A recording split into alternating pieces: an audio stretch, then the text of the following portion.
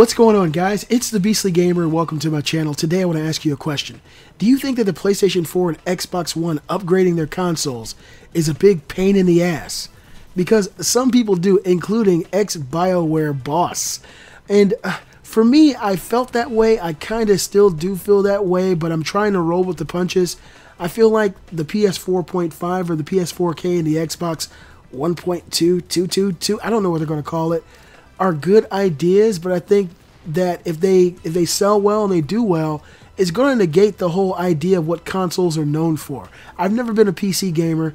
I bought myself a nice gaming laptop because I wanted something powerful enough to play the latest games and be able to edit and render videos with extreme power and I got that. And so I don't. It's it's a laptop. I don't have to ever update it or upgrade it. And that's one of the things about being a PC gamer that I'm just not good at, and something I would never really want to get heavily involved in. And so that's one of the draws for me to being a console gamer. I buy the console. Every game that comes out for that console works. There's no graphical upgrades. I need no extra RAM, and it all makes sense. The PS4.5 and the Xbox 1.5222, I don't know what they're going to call it kind of negates that whole idea and it brings a whole new PC air into the console space. But I'll drop a link in the description. Xbox One and PS4 upgrades are a gigantic pain in the ass, says ex BioWare boss. If you're not keen on the idea of, of upgrading consoles, you're not alone, as BioWare's founder calls them complete lunacy.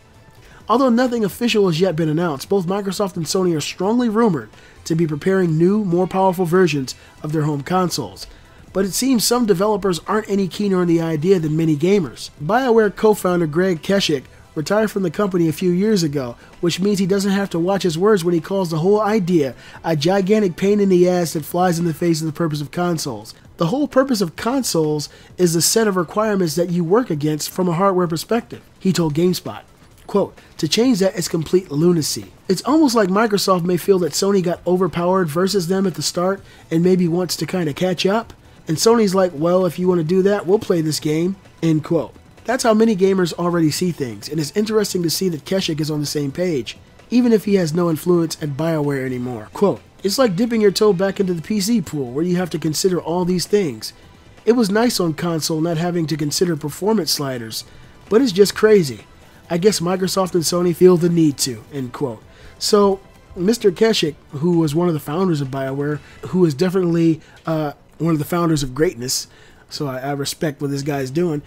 He, he's telling the truth, man. I mean, as much as I'm, I'm in on the PS4.5, I want a better VR experience. I want uh, the possibility of streaming in 4K. I want to see how close they can get games to a native 4K. I'm interested in the tech, but I'm also against the idea of turning consoles into like PCs. I don't like the upgradability aspect. Who remembers how terribly the Sega CD and 32X ended up? It was just a terrible idea to add all these extra parts and hardware to a console. It, it's the antithesis of what consoles are supposed to be. You guys let me know in the comments below if you agree with Mr. Zeschuk and uh, this whole thing is a pain in the ass, or are you 100% in on this PS4.5 and Xbox 1.52222? I hope you guys enjoyed the video. If you did, give a thumbs up, show support for my channel, share it on social media, all that jazz, and definitely subscribe if you're new to the channel. I'm the Beastly Gamer and I'll see you guys next time.